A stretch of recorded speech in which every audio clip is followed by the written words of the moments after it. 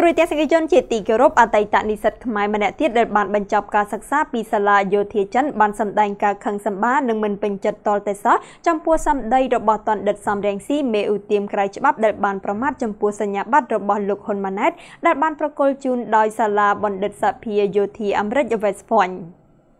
លោកផាន់សម្បត្តិជាអតីតនិស្សិតខ្មែរមួយរូបដែលបានទៅសិក្សានៅសាលាមេបញ្ជាការកងវិស្វកម្មកងទ័ពជើងគោកនៃសាធារណរដ្ឋប្រជាមានិតចិនបានសម្ដែងការមិនពេញចិត្តតតែសោះចំពោះសម្ដីរបស់តណ្ឌិតសំរងស៊ីមេចលនាឧទាមក្រៅច្បាប់ដែលបានប្រមាថដល់សញ្ញាបត្ររបស់លោកហ៊ុនម៉ាណែតដែលប្រកល់ជូនដោយសាលាបណ្ឌិតសភាយោធាសហរដ្ឋអាមេរិក West Point លោកផាន់សម្បត្តិបានលើកឡើងលើ Facebook យ៉ាងដូចនេះថា ក្នុងនាមខ្ញុំជាអតីតនិស្សិតខ្មែរមួយរូបដែលបានចេញទៅសិក្សានៅសាលាមេបញ្ជាការ កងវិស្វកម្មកងទ័ពជើងគោកនៃសាធារណរដ្ឋប្រជាមានិតចិនសូមសម្ដែងការមិនគ្រប់គ្រងនិងមិនពេញចិត្តយ៉ាងខ្លាំងចំពោះសម្ដីលោកសំរងស៊ីដែលបាននិយាយជាសាធារណៈចោទប្រកាន់មកលើឯកឧត្តមហ៊ុនម៉ាណែតដោយថាសញ្ញាបត្របណ្ឌិតសភាកងទ័ពជើងគោកនៃសហរដ្ឋអាមេរិក West Point របស់ឯកឧត្តមជាសញ្ញាបត្រខ្លាំងៗឬសញ្ញាបត្រការទូតលោកបានបន្តថាការសិក្សាជានីតិហ៊ាននៅក្រៅប្រទេសគឺពិបាកគ្រប់បែបយ៉ាងទាំងការរស់នៅ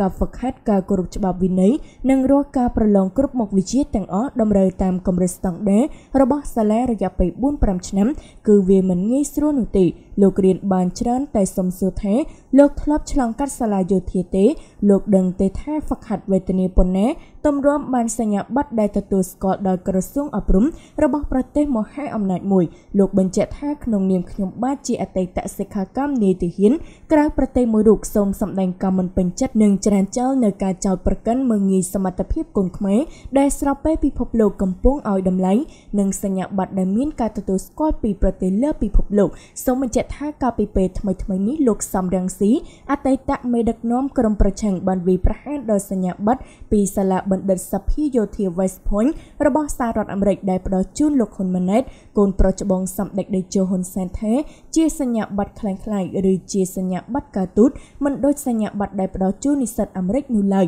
ការរិះគន់នេះបានបណ្ដាលឲ្យមានប្រតិកម្មយ៉ាងខ្លាំងពីអតីតនិស្សិតសាលាបណ្ឌិតសភាយោធា West Point ដទៃទៀតក្រៅពីនេះនិស្សិតខ្មែរដែលសិក្សានៅសាលាយោធានៅប្រទេសផ្សេងៗទៀតក៏បានសម្ដែងការខឹងសម្បានិងថ្កោលទោសលោកសំរងស៊ីផងដែរតែទោះជាយ៉ាងនេះក្តីអ្នកស្រី Emily Weisberg អ្នកនាំពាក្យស្ថានទូតអាមេរិកបានបញ្ជាក់ប្រាប់ Fresh News តាមអ៊ីមែលថាជនទាំងឡាយដែលបញ្ចប់ការសិក្សានៅមហាវិទ្យាល័យសាកលវិទ្យាល័យឬជាស្ថានថ្នាក់ឧត្តមសិក្សានឹងទទួលបានសញ្ញាបត្រឬវិញ្ញាបនបត្រប្រសិនបើពួកគេបំពេញតាមលក្ខខណ្ឌនៃគ្រឹះស្ថានសិក្សាទាំងនោះបានដោយមិនប្រកាន់ប្រទេសកំណើតទេលោកស្រីបានអួតអំពីគុណភាពសិក្សានៅសហរដ្ឋអាមេរិកដោយបានបញ្ជាក់យ៉ាងដូចនេះថាគ្រឹះស្ថានថ្នាក់ឧត្តមសិក្សារបស់អាមេរិកមានឈ្មោះល្បីរន្ទឺដោយសារតែគុណភាពគ្មានគូប្រៀបហើយអាចផ្ដល់ជំនាញភាសាអង់គ្លេសយ៉ាងល្អឥតខ្ចោះដើម្បីត្រៀមសម្រាប់អាជីពនាពេលអនាគត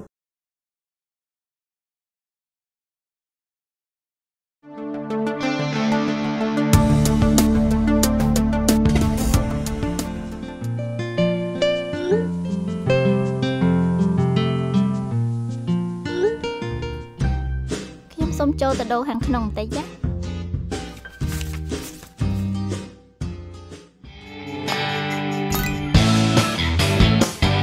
ឥឡូវនេះលោកអ្នកមិនបាច់ពិបាកត្រៀមលុយរាយសម្រាប់ការទូទាត់ថ្លៃសេវាឡានក្រុងនិងកណូតទៀតទេលោកអ្នកអាចធ្វើការទូទាត់តាម Acrida Unity ទាន់ចិត្តដែលជាវិទ្យុបាយថ្មីទូទាត់ចំនួនសាច់ប្រាក់សុទ្ធលឿនរហ័សងាយស្រួលដោយមិនប្រើពេលវេលាយូរសម័យសម្ដេចតេជោជឿនលឿនហើយទំនើបអញ្ចឹង